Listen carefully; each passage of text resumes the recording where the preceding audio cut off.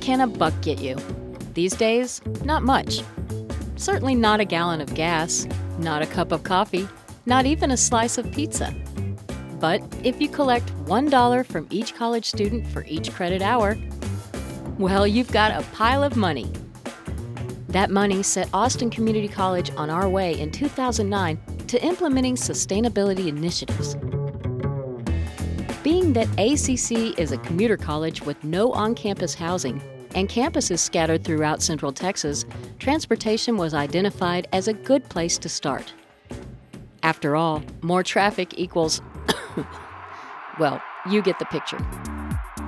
ACC's first initiative was to reduce single occupant vehicle miles. Encouraging carpooling was a no brainer, but increasing mass transit ridership was important.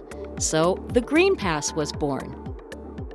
Electric car charging stations are fast becoming a hit with staff, students, and the public, as are incentives for driving fuel efficient cars. And don't forget the solar panels. ACC now boasts the single largest system in Central Texas not owned by a utility company. Besides producing clean energy, the panels also serve as instructional tools for ACC students. Obviously, that $1 sustainability fee funds a lot of initiatives for the college. But are they working? Early reports say yes. There's already been a shift in how people commute to the campuses, with a greater percentage using alternatives to single occupant vehicles.